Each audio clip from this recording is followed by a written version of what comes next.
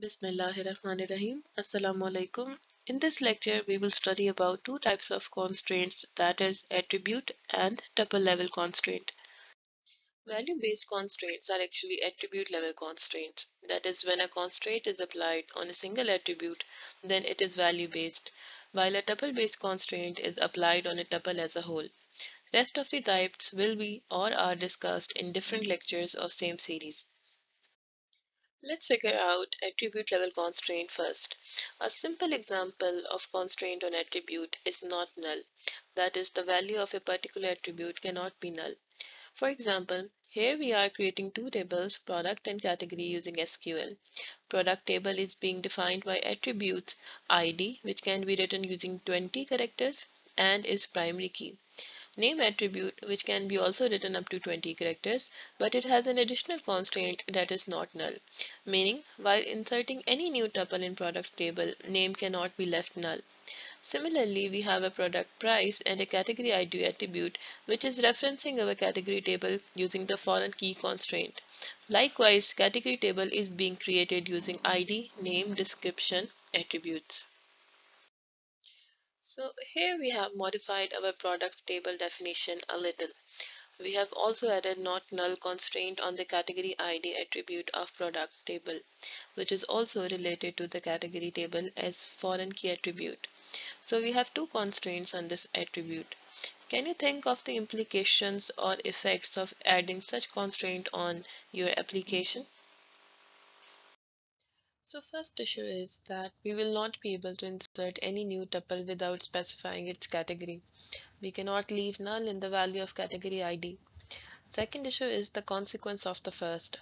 That is, we cannot use set null policy, that is to add null as value in the attribute of category ID when category ID in the category table is deleted or updated.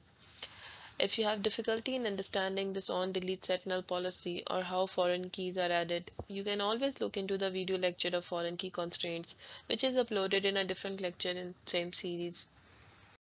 We can also add constraints on attributes using keyword check. It is usually used when we have more complex constraints to add to our attribute.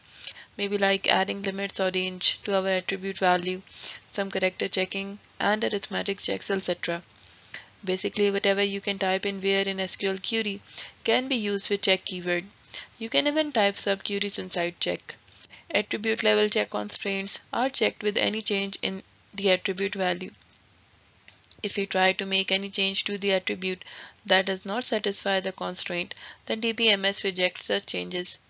In this example table student, we have added two constraints, one on GPA attribute with data type real and other on gender attribute. Constraint on GPA says that no student should have GPA less than or equal to 2 or greater than or equal to 4. So this student table only contains students with more than 2 GPA. Similarly on gender attribute, check makes sure that no value other than F or M are added. So if you are trying to insert a tuple with GPA 1.0 or gender value G instead of F or M, then I will get an error from DBMS. Similarly, DBMS will reject any update to attributes that does not satisfy constraint. It is to be noted here that constraint is checked on new values and not on old values. Also, constraint is not checked if other attributes which are not part of the constraint are modified.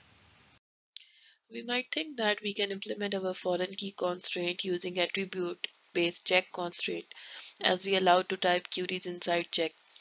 For foreign key implementation, all we need to do is to make sure that whatever category ID we insert or update in product table is present in the category table. So whenever a CID in product table changes, then we need to search the CID in category table as well.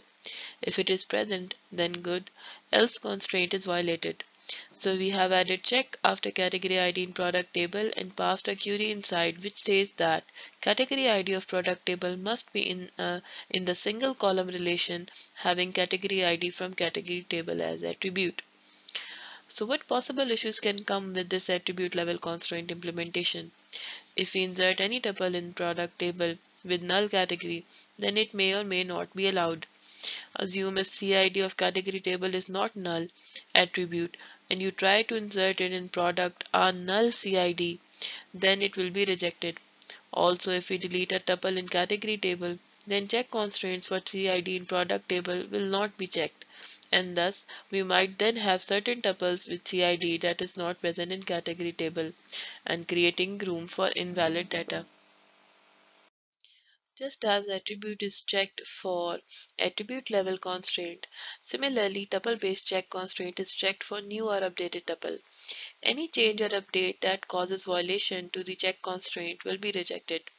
It is written as part of a data element and interpreted as tuple level constraint. Names of attributes of relation R can be used inside check constraints. Subqueries can also be written inside.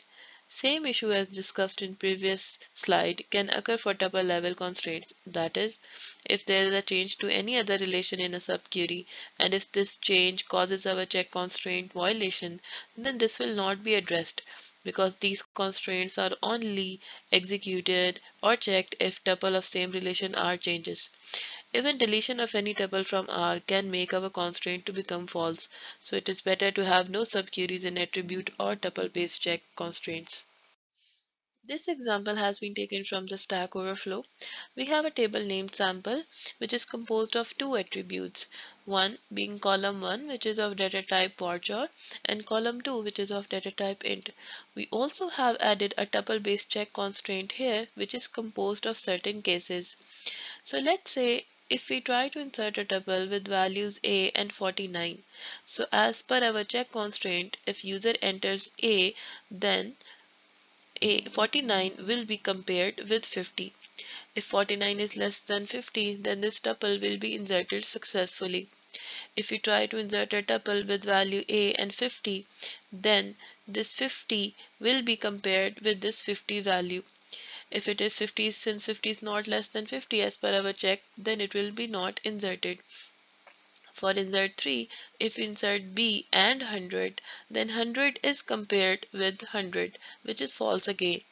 For insert 4 with values C and 149, 149 is compared with 150. So it is inserted successfully. Similarly for insert 5 there is no case to match so else will be executed that is adding 1 to 5000 but it, it will have no effect as value is not saved into any variable. 5000 will be compared with 5001 and so insertion will be successful. So if a constraint has one attribute, then it is considered as attribute level or tuple level constraint. And if it has more than one attribute, then it is considered as tuple level constraint. Tuple level constraint is fired when any value in the tuple changes, while attribute level fires when attribute changes.